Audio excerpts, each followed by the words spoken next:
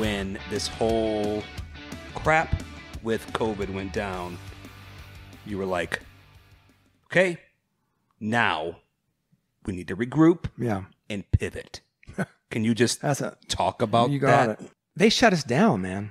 I know they did. I mean, it's just Yeah. boom, you're out of business. Man, are you wait, is this really true? Like, is this gonna happen? Next thing you know, close. So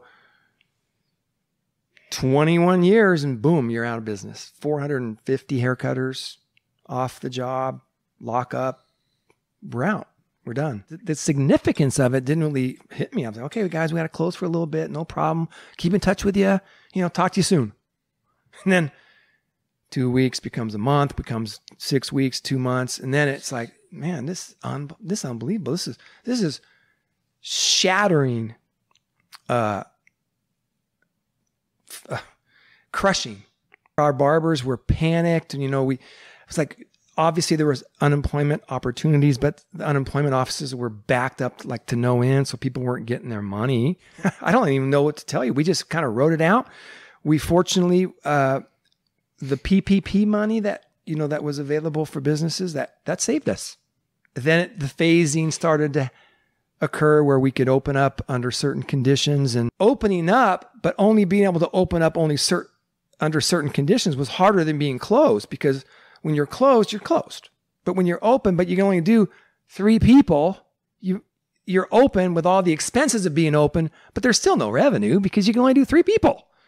You know, I just give all the credit to my wife Allison and my daughter Olivia, Kim and Connie, the the gals, part of our franchise group. They just uh, looked at the guidelines the state sent down for barbershops, and we set up uh, social distancing for every station. We set up a, a, a clean zone at the front. We we took away the the waiting room area. We made everybody answer questions before they came in. We everybody's masked up, both the barber and the customer.